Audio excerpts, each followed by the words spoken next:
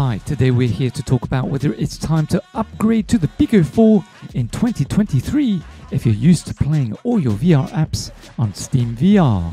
But first, a big shout out to our sponsor of the day, VR-Wave.store, your go-to place for your lens prescription adapters. 5% discount when you apply the code VR Essentials.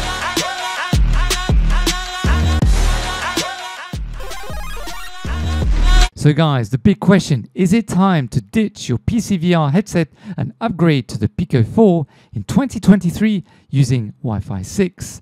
Big shout out to Asus for providing us a whole bunch of different routers. Today we're going to be using the Asus XT8 series, more specifically the AX6600 Zen. Now in the previous video we put the XT8 to the test as we were casting the Pico to the television inside of the same room as the Wi-Fi. So if you want to know how it fared there, do go and check it out after this video. But some of the questions I really wanted to ask myself today is whether the XT8 would perform well if I'm standing inside of my studio 10 meters away from the router with a wall and a door closed in between.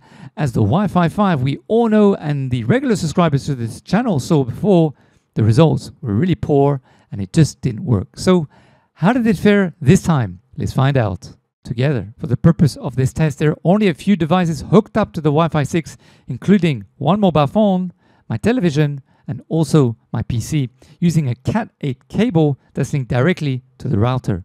Do make sure you don't use a Wi Fi dongle as it will affect the stream undoubtedly. This video will be split in different categories. Of course, there'll be timestamps below as well. So do skip to wherever you wish to watch that's more relevant to you. We're going to look at, for example, audio to make sure there's no crackling or anything like that, as well as the graphics. How do the shadows fare? How do the actual compression fare? And of course, latency and tracking to make sure that when there is something moving, what goes on in the headset is actually one-to-one or let's just see how we can actually get the settings to be right. Now we are going to be streaming of course wirelessly to the desktop and we're going to be using virtual desktop. Now virtual desktop isn't free, however, it does provide a lot more flexibility, including the opportunity to boost the actual bit rate. So it is much better software compared to the free software that comes with the Pico streaming assistant. Now we'll be putting two VR games to the test, one of which will be Half-Life Alyx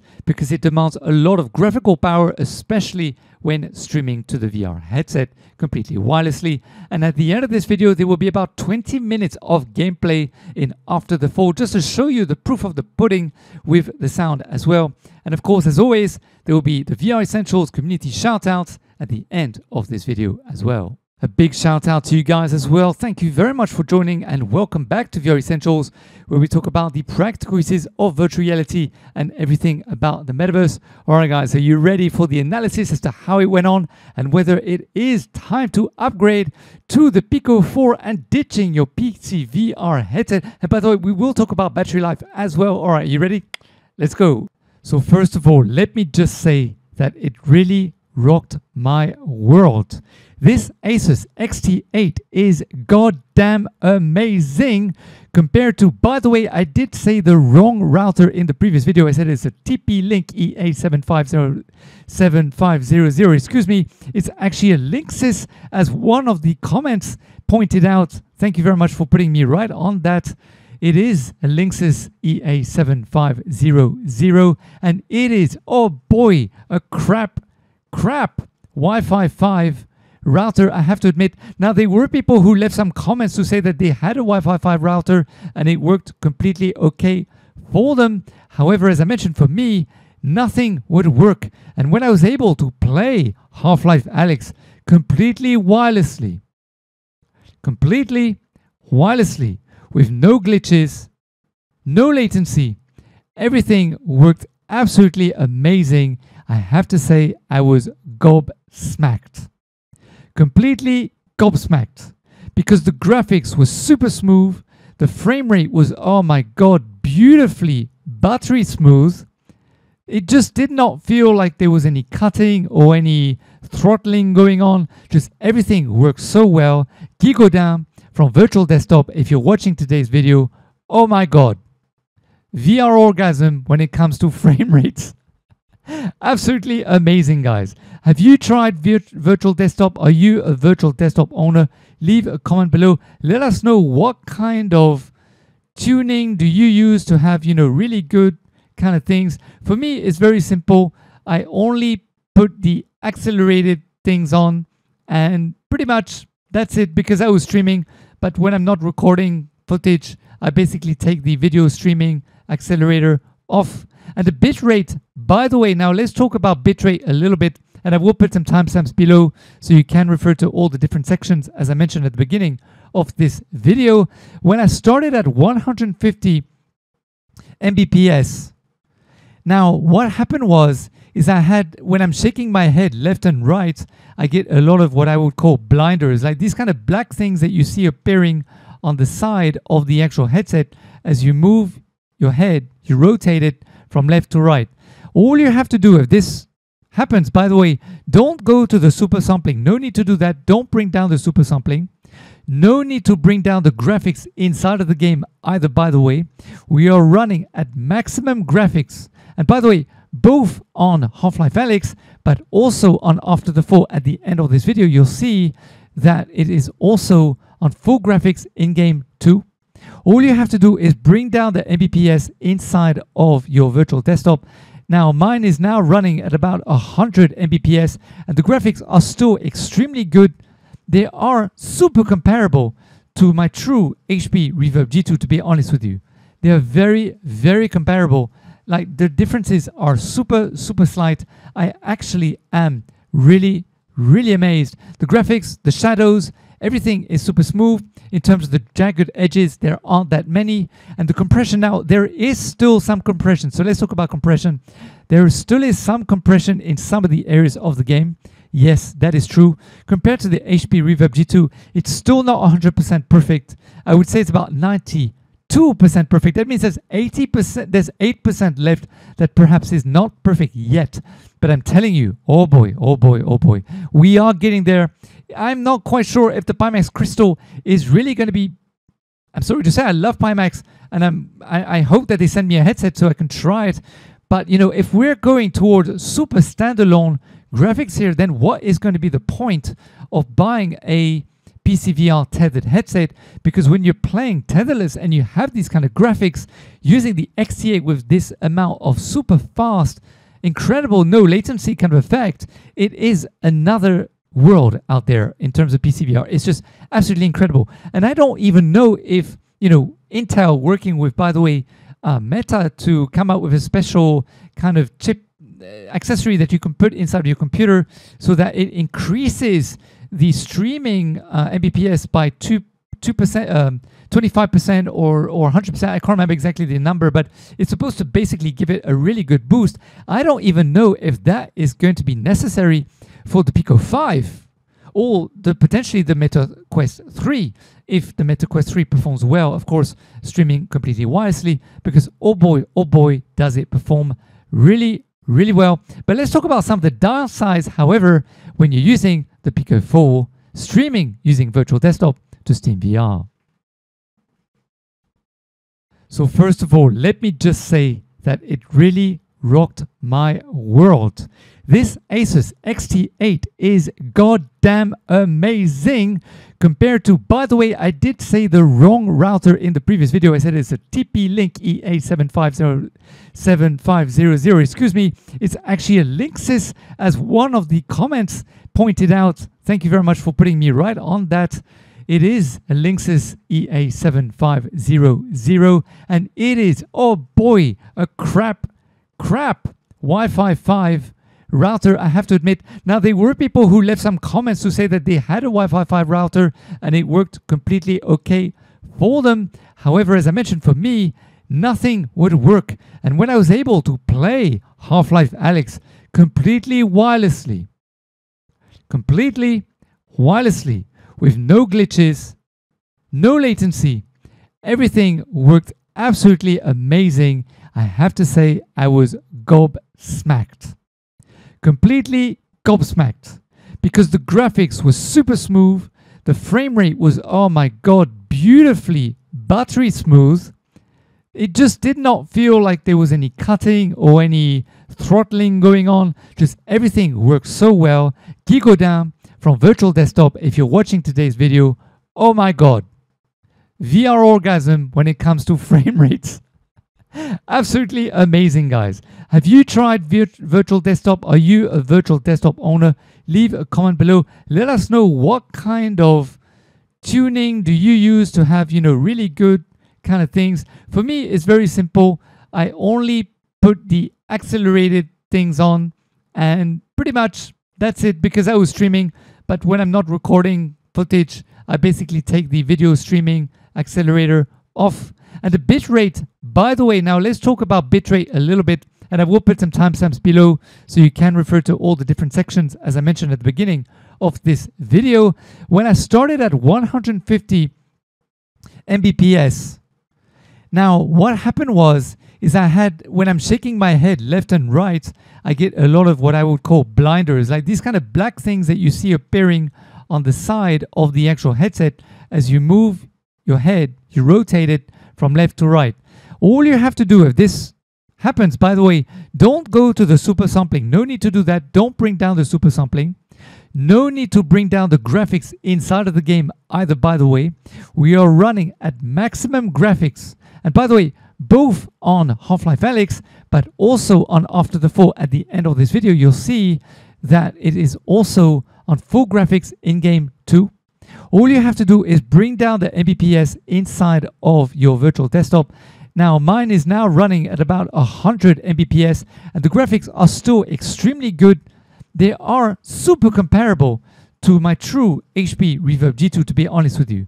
They are very, very comparable. Like, the differences are super, super slight. I actually am really, really amazed. The graphics, the shadows, everything is super smooth. In terms of the jagged edges, there aren't that many. And the compression now, there is still some compression. So let's talk about compression. There still is some compression in some of the areas of the game.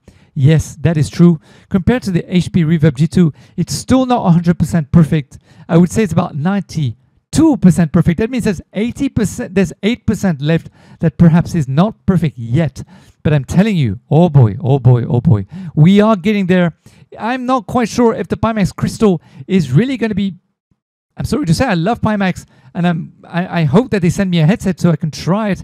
But you know, if we're going toward super standalone graphics here, then what is going to be the point of buying a PCVR tethered headset? Because when you're playing tetherless and you have these kind of graphics using the XT8 with this amount of super fast, incredible no latency kind of effect, it is another world out there in terms of PCVR. It's just absolutely incredible. And I don't even know if, you know, Intel working with, by the way, uh, Meta to come out with a special kind of chip uh, accessory that you can put inside your computer so that it increases the streaming uh, Mbps by 2 2%, um, 25% or, or 100%. I can't remember exactly the number, but it's supposed to basically give it a really good boost. I don't even know if that is going to be necessary for the Pico 5 or the potentially the Meta Quest 3 if the Meta Quest 3 performs well, of course, streaming completely wirelessly because oh boy, oh boy, does it perform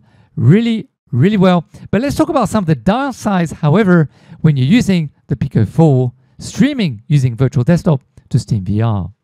Now, for me, the downsides, and I'm not quite sure what happened there because I did go into the virtual desktop and also the Pico 4 Discords. And do go and join the Discords, guys, if you own a Pico 4 or virtual desktop, so you can get, you know, real time, almost real time, you know, uh, feedback from other people who also own stuff. If you have any questions, of course, you can leave them in the comments below and I'll go and ask for you in the service. But do join the service as well as the community is quite friendly over there. Is the fact that, well, when I was now Virtual Desktop just had a patch very recently, by the way. Um, and for me, well, the issue was that Half-Life Alyx and also, by the way, After the Fall, both games, I had some issues with the bindings of the controllers. Basically, the right controller, every time I would want to rotate my view uh, by pushing the joystick left or right, it wouldn't work. In order to look left or right, I had to push, well, uh, rotating right, I had to push the joystick upwards. But when I push left, it works to see left, but it doesn't turn 25 or 45 degrees. It turns like a 180 almost. So I'm not quite sure what's going on there. I did try a lot of different bindings inside of the game itself in trying to activate other people's bindings that they had, you know, set up for various different VR headsets. But the problem is that in Steam VR at the moment, there isn't an option, as far as I know, to pick Pico in as an option. You can pick like HTC or mixed reality, uh, Windows mixed reality, or you know uh, Oculus or Oculus Rift kind of bindings, but you can't go and pick the Pico one yet inside of the Steam VR bindings panel. I'm not quite sure. So you have to basically use, well, the one that would normally work would be the Oculus bindings. Those ones normally should be working. However, there is one other person inside of the actual virtual desktop server who said, well, he didn't have any issues whatsoever and everything worked for him. There was no problem at all. So I don't know, guys. Please leave a comment below. Let me know whether you have any issues when you're trying to rotate left and right inside of Half-Life Alyx or After the Fall. Love to know if it's working for you. Maybe it's just a glitch for me. I'm not quite sure. And that it will go away, you know, after a few days or something. Or maybe there's something I need to switch off. I'm not quite sure. Although the virtual streaming assistant by Pico is deleted from my computer simply because it creates a lot of bugs inside of my computer. I'm not quite sure why, to be honest with you.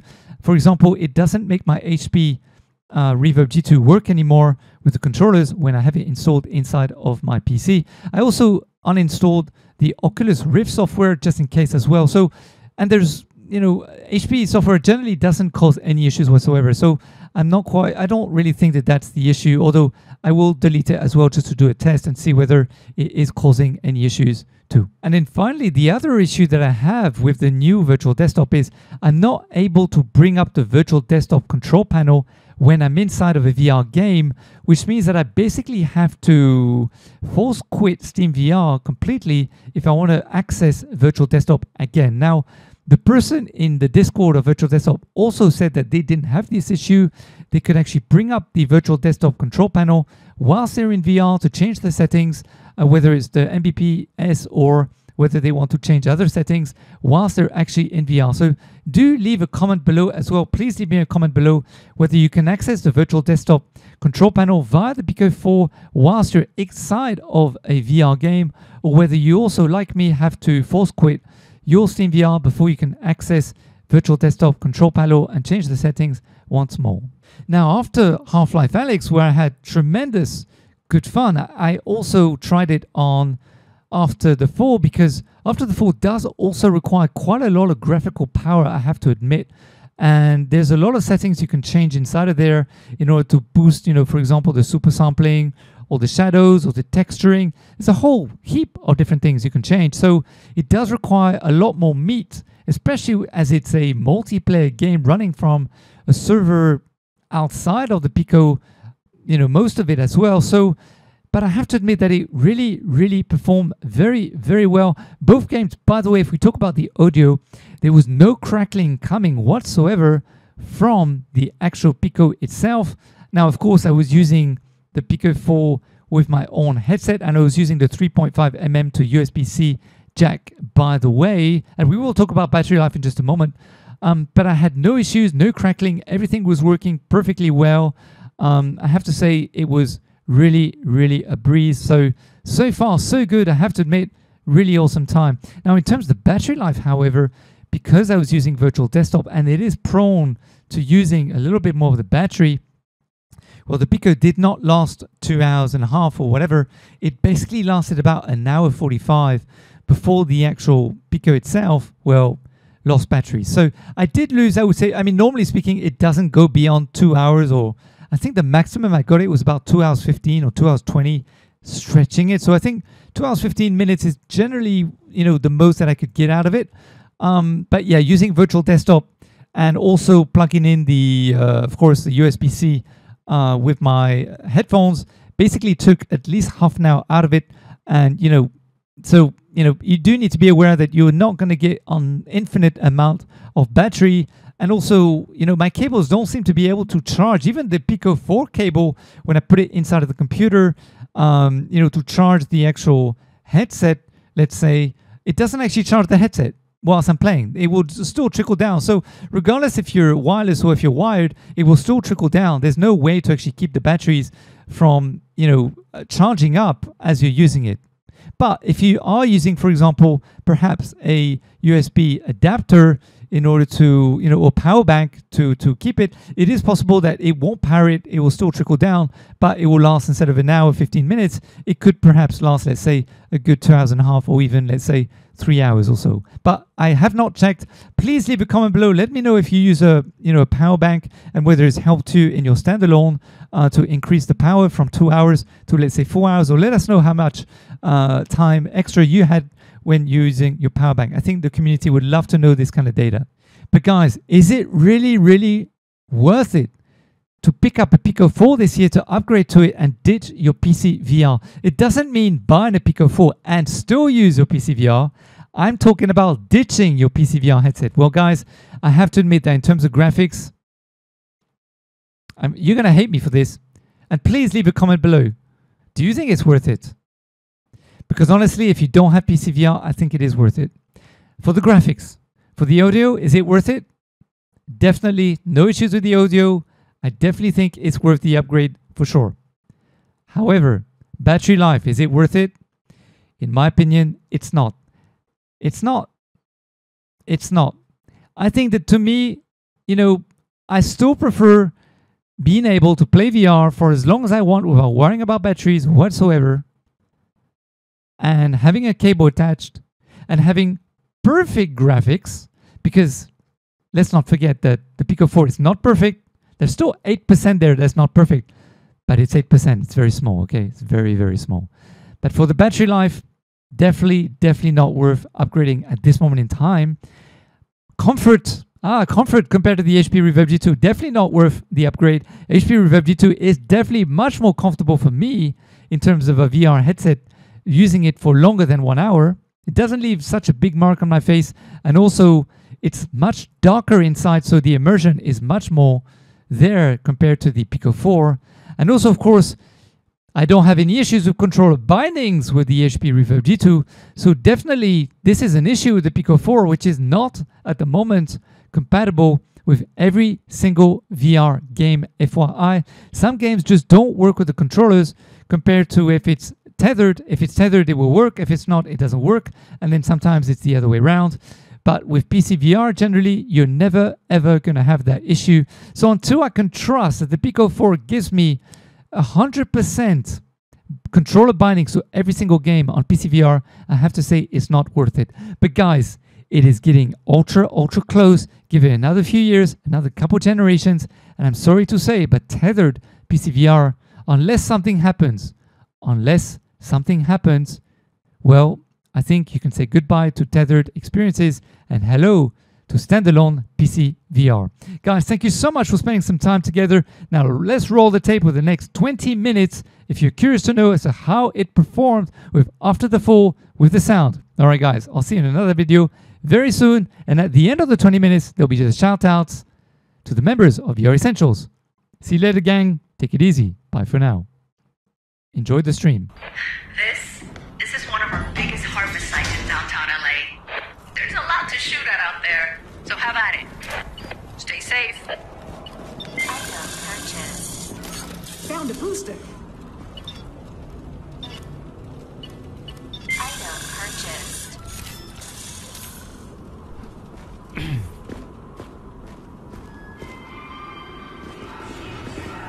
Few stops further, we could have been chilling in Hollywood. Please stand clear of the door.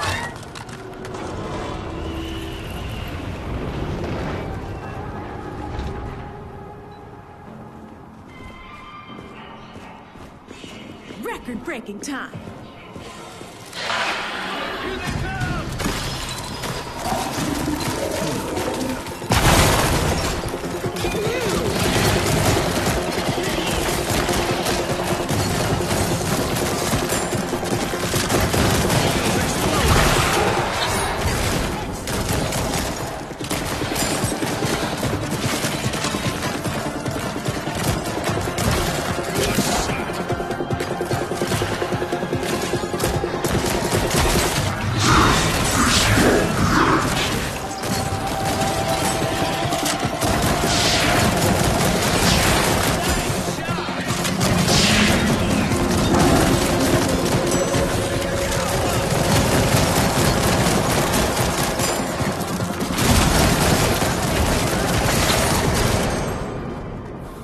Loading.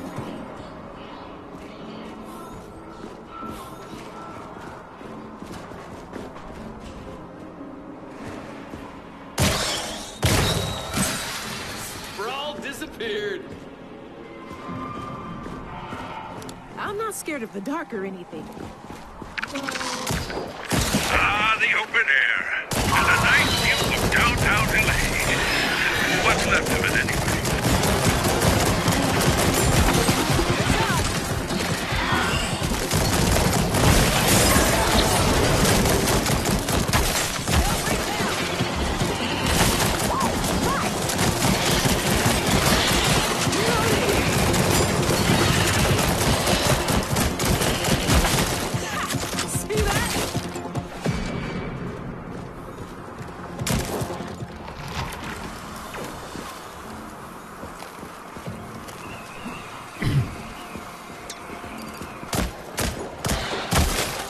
One.